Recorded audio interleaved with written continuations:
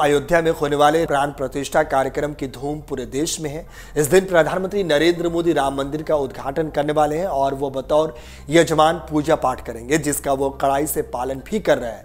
इससे पहले वो दक्षिण भारत के मंदिर आ, मंदिर जाकर पूजा अर्चना कर रहे हैं। इसी क्रम में रविवार को वो उस जगह जाएँगे जहाँ से राम सेतु का निर्माण हुआ था। पीएम मोदी आज सुबह करीब साढ़े नौ बजे अरचल मुनाई पॉइंट का दौरा करेंगे, जिसके बारे में कहा जाता है कि यहीं से राम सेतु का निर्माण हुआ था। इसके बाद सुबह सवा दस बजे वह श्री कोंठडारामा स्वामी मंदिर में पूजा और दर्शन करेंगे। कोंठाडारामा नाम का अर्थ धनुषधारी राम है यह धनुष कोंडी में भी स्थित है।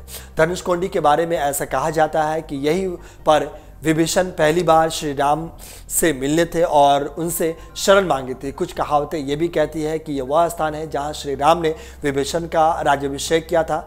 इससे पहले शनिवार को पीएम मोदी ने भगवान राम स्वामी मंदिर में पूजा अर्चना की। कहा जाता है कि तमिलनाडु के रामनाथपुरम ज़िले के रामेश्वरम द्वीप में स्थित शिव मंदिर का रामायण से संबंध है, क्योंकि इस जगह का शिवलिंग भगवान श्री राम ने स्थापित किया था। इसके बाद श्री राम ने माता सीता के साथ प्रार्थना की थी। पीएम मोदी रंगनाथ स्वामी मंदिर आने से पहले प्रधानमंत्री वाले हैं। पहले ये प्रधानमंत्री हैं। प्रधानमंत्री नरेंद्र मोदी ने शनिवार को अग्नि तीर्थ तट पर स्नान करने के बाद भगवान राम स्वामी मंदिर में पूजा रुद्राक्ष माला पहने नज़र आए। पीएम मोदी ने तमिलनाडु के प्राचीन शिव मंदिर रामनाथ स्वामी में पूजा की। इसके साथ ही उन्होंने मंदिर परिसर के भीतर 22 तीर्थों में डुबकी लगाई। श्रद्धालु तीर्थों में डुबकी लगाने को शुभ और धार्मिक मानते हैं। मंदिर परिसर के भीतर मौजूद 22 तीर्थों का मतलब प्राकृतिक झरने से है।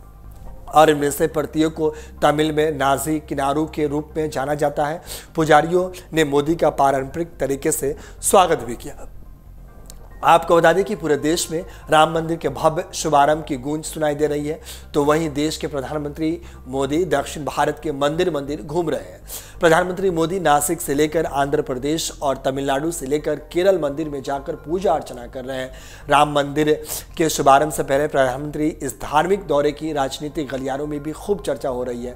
सियासी जानकार भी मानते हैं कि प्रधानमंत्री मोदी के दक्षिण भारत में राम और अयोध्या के कनेक्शन को सीधे जोड़कर मिशन साउथ साउथ की तैयारी को देख रहे हैं।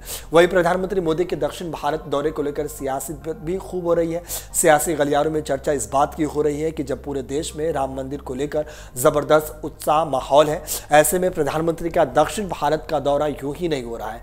राजनीतिक विश्लेषक ओपी तनवर कहते हैं कि प्रधानमंत्री मोदी का दक्षिण भारत के मंदिर में जाकर पूजा अर्चना करना आगामी लोकसभा के चुनाव के नज़रिए से भी बेहद ही महत्वपूर्ण माना जा रहा है। अगर आप ये वीडियो YouTube पर देख रहे हैं तो हमारे चैनल को सब्सक्राइब करें और बेल आइकन को दबाना ना भूलें। अगर आप Facebook पर यह वीडियो देख रहे हैं तो हमारे पेज को लाइक करें।